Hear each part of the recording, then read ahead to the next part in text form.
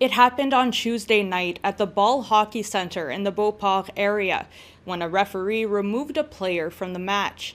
According to the North American Ball Hockey Players Association, the player attacked the victim with his stick, first using it to hit him in the chest and then using both his hands to hit him in the face.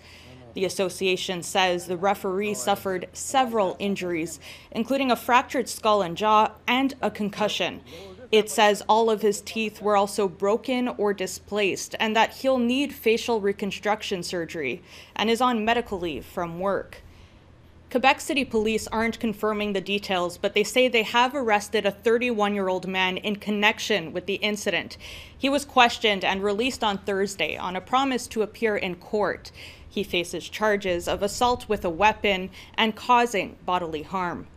The Ball Hockey Association has also banned this player for life from all of its matches, even though the incident didn't occur in an affiliated area. Jacinthe Brassard, who's with the association, says violence towards referees is becoming a bigger issue in ball hockey, as it is in all sports. But she says she's never seen anything quite as disturbing as this attack.